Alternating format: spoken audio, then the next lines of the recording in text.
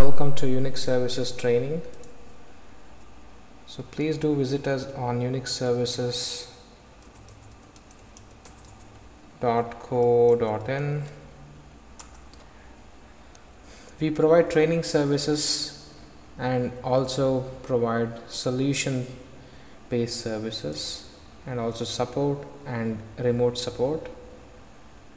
So in India you can contact the number double nine four five one five one four double two and you're from US and you can contact the Canada number that's 438-828-5530 or you can write to us at admin at unixservices.co.in for all types of Unix and Linux support and solutions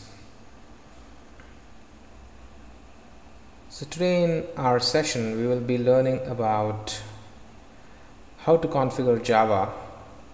So, so if I see here I have already downloaded the Java JDK RPM which is there available on the website oracle.com and once you go to the oracle.com go to the download section and uh,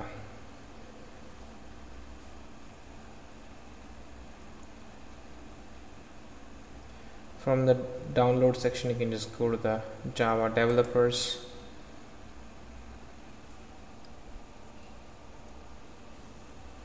And if you just click on the JDK download so here we have the RPM which is which I have already downloaded. So you can also download it from here. And uh, we need to check what version of Java which is already installed to check that we can use Java dash version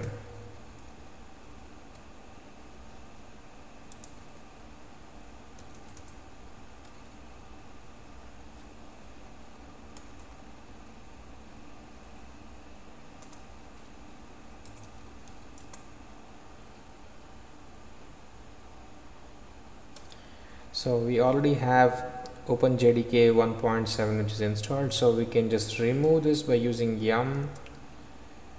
Remove.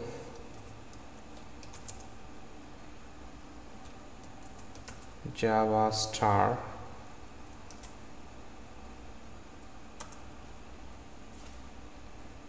Let's say yes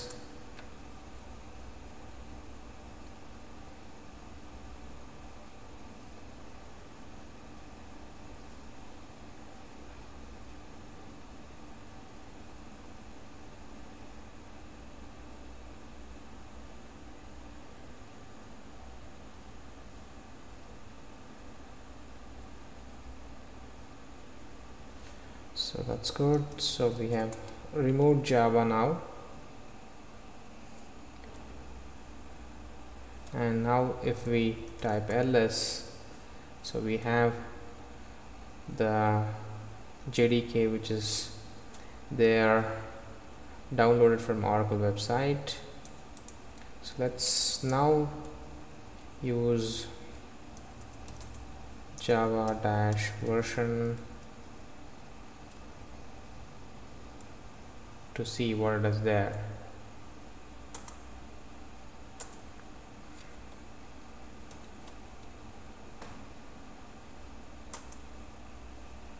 So we don't have anything else as of now. So now let's install it by using rpm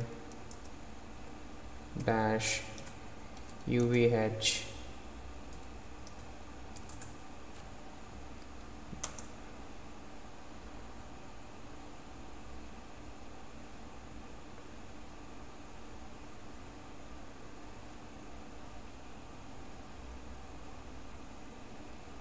so we have successfully installed Java. And there are a couple more steps which we need to follow.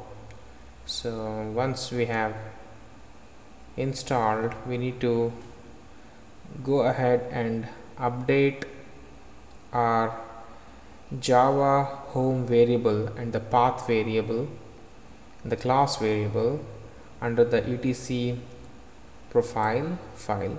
So I've already made a note of that here.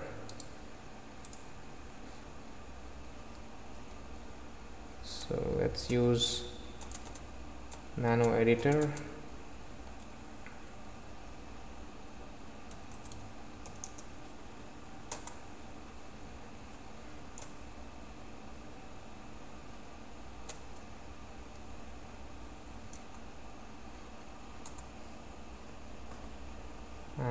just make a note here as java settings.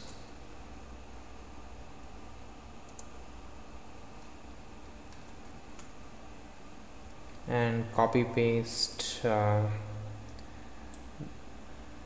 the variables which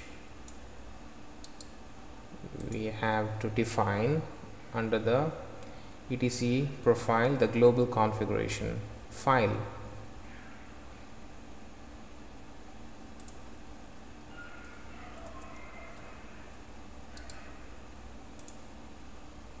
And save the file.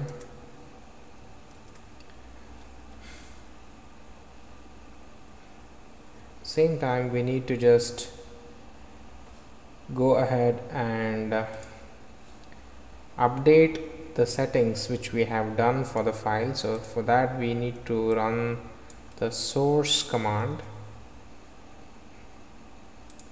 so that it rereads the um, file and updates the settings. So that's it. So we have successfully installed java. So let's make sure we have installed by using the java and version so we can see that we have successfully installed. And if we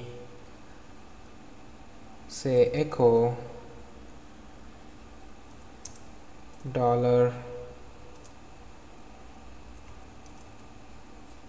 java underscore home so we have the java underscore home which is defined. So this is how we go ahead and um, install java. We have done this on a red hat operating environment. So we can say to view that we can say etc